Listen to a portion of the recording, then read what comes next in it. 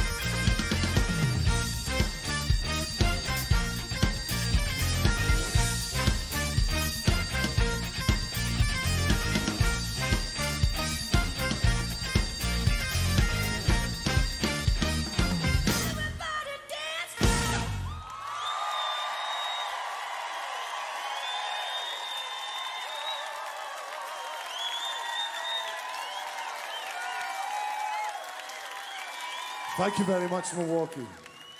Now it's time to take you somewhere darker and to my favourite track of the set. All aboard the Hellbound train.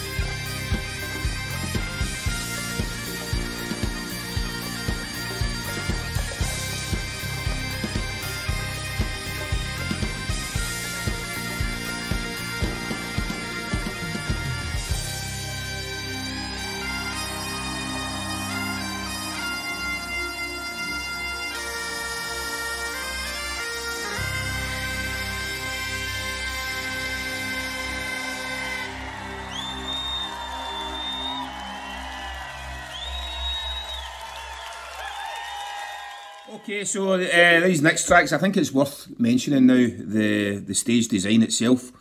Kevin is uh, uh multi-talented and he's got other lots of his fingers and lots of pies. And he came to me one day and he says, "Here, Willie, what do you think of this one?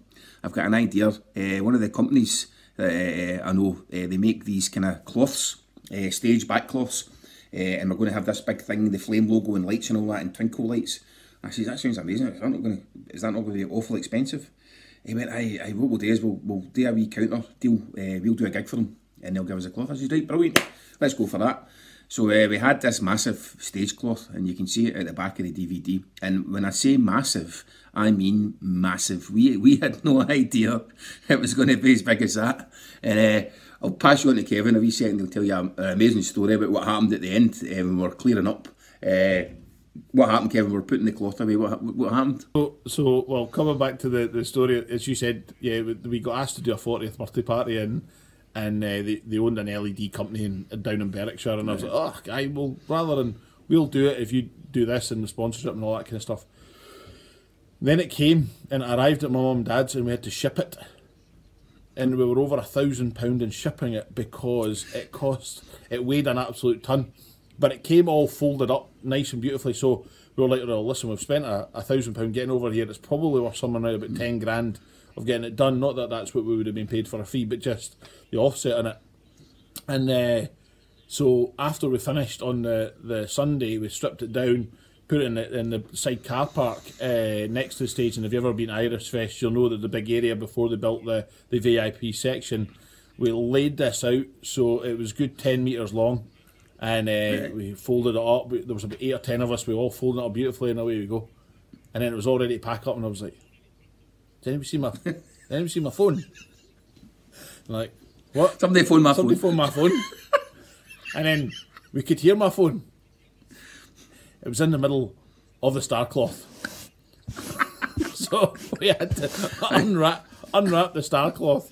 Uh, I think Kevin, I think we all just walked away at that Aye. point. That was, that was one of the and, and if you think the, the the stress and strain it when it was a it was a it was a funny moment at the end of it, but you know I, I think some people will watch it back and realise that, or maybe don't realise. Well, they'll realise with the tone is I lost my voice, uh, which was probably one of the most heartbreaking things, given that we wanted to both of us be at the peak of what we were doing and how we were doing it, but we just I think I can recognise now we just pushed everybody too hard going into it. We uh, the previous weekend, you know, the, the mantra of the Chilli's has always been, if we can get people working, then let's get let the, let's get the band out.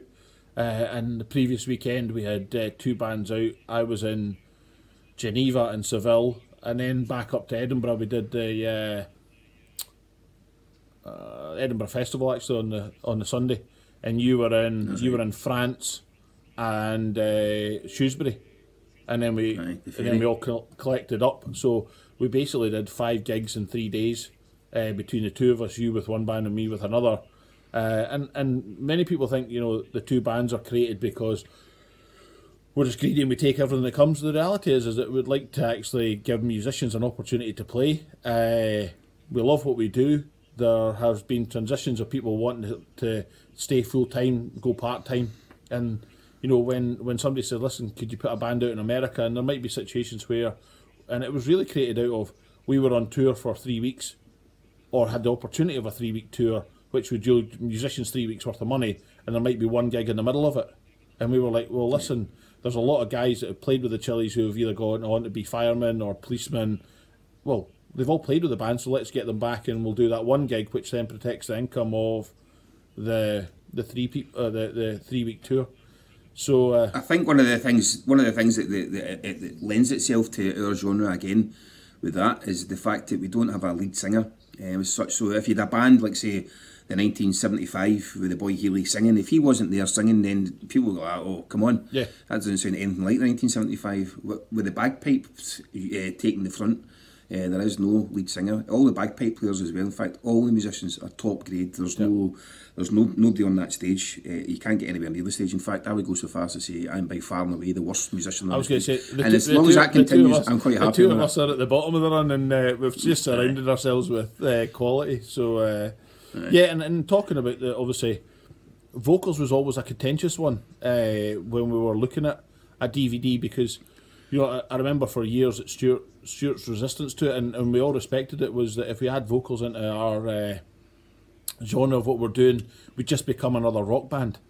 Uh, and it was always it was think, always a debate. I think that was my idea, wasn't it? To bring, uh, to bring the vocals in for the DVD. We hadn't really that wasn't in the plan, and uh, I think I'd said to you, oh, I think we should just you know because it's a DVD, we bring in a uh, a vocalist, and I think as well I said why don't we make it a female vocalist because we've got all the, the, the male musicians, we should have a female musician to go with the female dancers, something along those lines. My thinking. Yeah. Uh, so we decided to. Uh, find a fantastic uh, vocalist uh, and we got Dee who'd I think uh, Stuart had met her before at one of the festivals and she's a classic can sing she's brilliant Yeah, and she and, and to be fair, even on the live at the lake, we probably with Chris now and and Dee doing some and Nicole, we do a lot more vocals now than we did for the DVD. It was only two tracks, and it was it's literally the same as a drum fanfare or tracks where it's musician heavy, and it's literally to, to give everybody a break from the bagpipes and just if Yeah. you talk about tension release or movement of styles and stuff like that, it was literally just to give us in. Uh,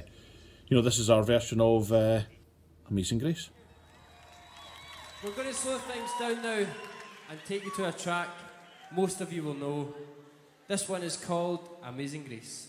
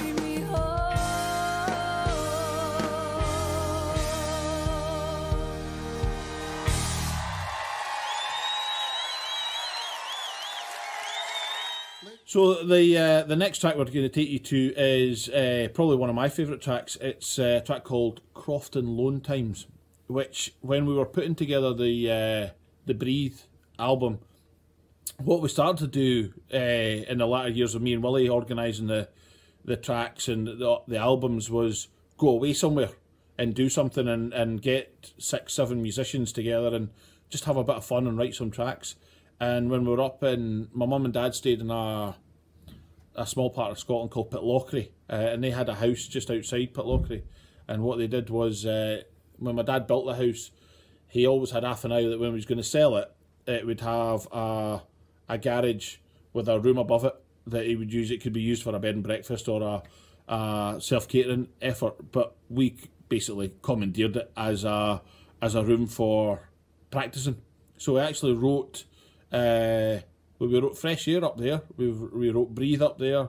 Uh, we went to America to do Octane. We actually went to Merritt Island over uh, in Florida to do uh, Octane. Rockstars. So, but aye, was, that was good good fun. But the uh, out of the, the, these were three really good tracks that you know a couple of us just pitching ideas and, and the boys put the framework around it. Uh, and it was just I love the intro to it. I love the, the style of it and the flow. Uh, and we named it after the area that mum and dad stay in, and this is Croftinloan Times. So we're going to take you now to a, a song that we wrote back last year in a small place in Scotland called Croftinloan, and this is Croftinloan Times.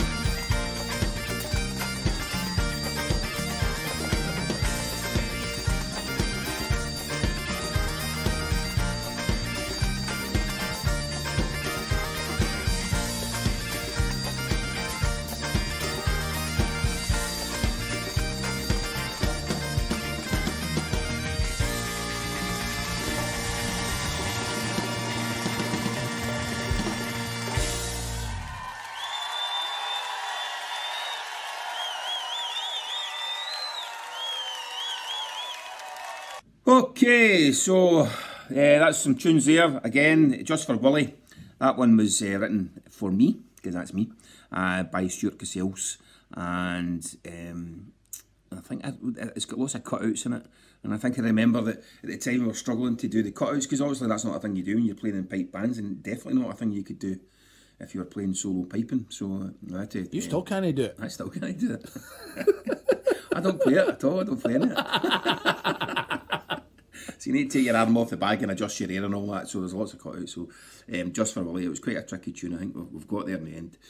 Um, what was the tune after that? Um, Fix you. Fix you, of course. The Coldplay. Now the Coldplay thing, I don't know how it works. I don't know whether Chris Martin's a, um, a, a closet bagpipe fan, but He's got to be. Pretty much. It's got to be. Pretty much every single Coldplay tune fits on the bagpipe scale.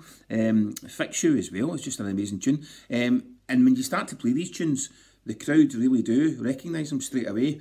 Uh, and I think as well when the bagpipes, uh, they take over the melody part. Um, so basically, the singer, um, they, they, they, that would happen in the tune, the bagpipes take over. Uh, and I think again that lifts the crowd, uh, and it just works ever so well. So it, all these uh, the, the covers, it's probably worth mentioning how these covers work. It's not as if we just say sit with our practice chanters and say, "Oh, let's try this." It doesn't work like that. There's probably 150 you uh, ideas you come out with, and then you'll say, "Nah, that's a bit kind of karaoke," and you need to really avoid that like the plague, because karaoke for the clever musicians we've got on stage, they wouldn't have been stage for very long if it was just karaoke bagpipes. So we don't do that. We stay away from that. So every cover or every rock or pop uh, tune that we play, there's about 150 have been ditched before the ones that we've picked uh, carefully. 100%. And we obviously have to um, stay true to our tradition, which is bagpipe music, Scottish traditional music.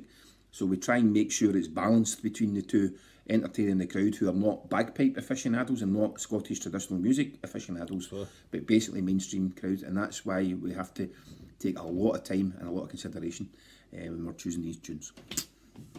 Yeah, and we finish off uh, this one, and we're going to say goodbye for now, and we'll see you at some point in the future.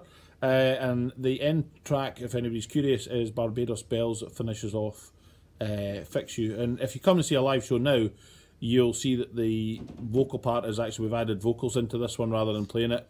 And there's many a time that we think, should we go back and change to some of the tracks? And I'll be, I'll be curious to see people's uh, opinions. And I think when we come back on the road, I think one of the, the thoughts that you and me are put together, Willie, was to, to go back through some of our back catalogue and just yeah. rejig them slightly and, and bring them back for people and and probably either poll poll our fans and say, right, what are the tracks you love, what the ones you miss, and which ones do you not enjoy, uh, and yeah.